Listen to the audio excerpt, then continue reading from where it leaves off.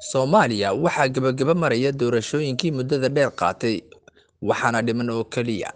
Doorashada madaxweynaha ay u sharaxan yihiin sagaal iyo soddon musharax taas oo dhici doonta shan iyo tobanka bishan sida loo qorsheeyay. Waxaa magaalada muqdisho laga dareemayaa ololaha doorashada iyada oo ay dadku si weyn u markaa u faaqidayaan. Doorashada xilligeeda ka soo dib dhacday ayaa meel gebagaba ah haatan marayso. Musharaxiinta xilka madaxweynaha ku loolamaya ayaa hadda jeedintoodii soo qaatay intooda badan. Qorshaha ay doonayaan waxa weeyaan in ay dalku maamulaan haddii ay guulaystaan qorshaha ay xoogga saarayaan waxaa ka mid ahay amniga waxbarashada caafimaadka iyo sidoo kale waxyaabo kale oo aan intaa lagu soo koobi karin. Waa hadda soomaaliya iyo somalilan siyaasadeeda arrimaha dibadda iyo qorshayaal kale ayaa iyana ku jirta waxyaabaha ay diiradda saareen. Xaqiiqdii soomaaliya waxay ku jirtaa amba ay joogtaa isgoys khatar ah oo aad u dhib badan. Isgoyskaas halista ahna wuxuu u baahan yahay in laga taxadaro waxaana wada saarannaa mas'uuliyad annagoo dhan dusha naga saaran in soomaaliya laga gudbiyo isgoyskaas muhimka ah. Waxaan aaminsanahay in afarta sano soo socotaa ay ka qiimi badan tahay ka khatarsan tahay soddonkii sane soo dhaafnay. Haddii afartaas sano aan luminno fursadda dowladnimada soomaaliya dhibaato culus ayaa ummadda soomaaliya soo gaarayso. Tobankii sane u horreysay dowladnimaan raadinaynay. Tobankii ku xigta waxaan bilownay inaan xoogihii dowladnimada barasho ka samayno.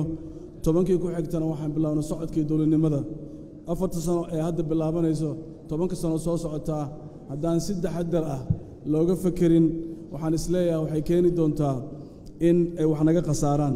Nabad inaan helnaa jid walba waa u maraynaa jid alle jid naga xariman ma lihin sidii nabadda ummadda soomaaliya lagu gaarsiin lahaa. Heshiis dagaal dhinac walba wax naga xariman ma lihin. Waxaan kaloon dhisaynaa hay'adaha ciidan leh heybad qaran karti xirfad lala xisaabtami karo intay yihiinna la ogyahay ciidanka qaranka soomaaliyeed waa inay ahaadaan kuwo ka caggan siyaasadda iyo arrimaha danaha qabiilka. Waxaana ballanqaadaynaa inaan daryeelkooda aan ilaalinno. Qodobka kale oo ugu muhiimsan waa dib u heshiisiinta. Waddankan dhab u heshiisiin ama dib u heshiisiin wax laga qabta ma lihin. Tihiin dalka dal keligiis noolaa kara ma jiro dal keligiis taagnaa karaana ma jiro. Waa inuu lahaadaa saaxiibbo adduunka uu leeyahay inay jiraan siyaasadda dibadduna waa mid ku dhisan u adeegaysa danaha qaranka. Waxaan ku dadaali doonnaa haddii la raalli ka noqdo inaan yarayno dad siyaasad dibadda inaan yarayno cadaawadda shisheeyaha dalka soomaaliya ay u qabi karaan. Waxaana keeni doonnaa siyaasad dibadeed oo ku dhisan danaha qaranka iyo iyo saaxiibtinimo adduunka aan la yeelanayno.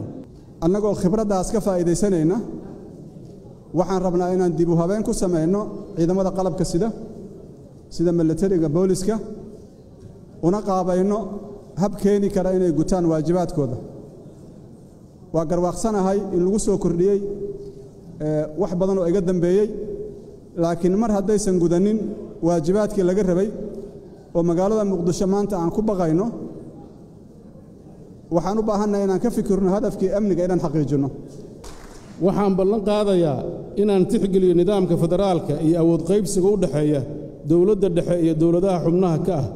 Waxaan in ay ku wada shaqeeyaan dowladda dhexe iyo dowladaha xubnaha ku ah si wada jir ah iyo tixgelin ah oo sharci ku salaysan.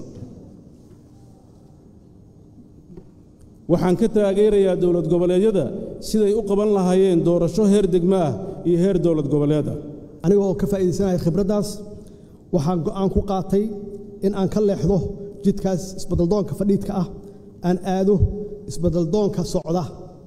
Haddana ma bilaaban halku dhiggan wuxuu ahaa wax runtii muddo dheer soo socday oo ku dhisnaa khibradda aniga aan leeyahay.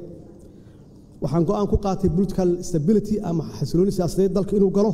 Waxaan uga horreeya xukuumadda aad magacaawdo inay shaqayso muddo dheer.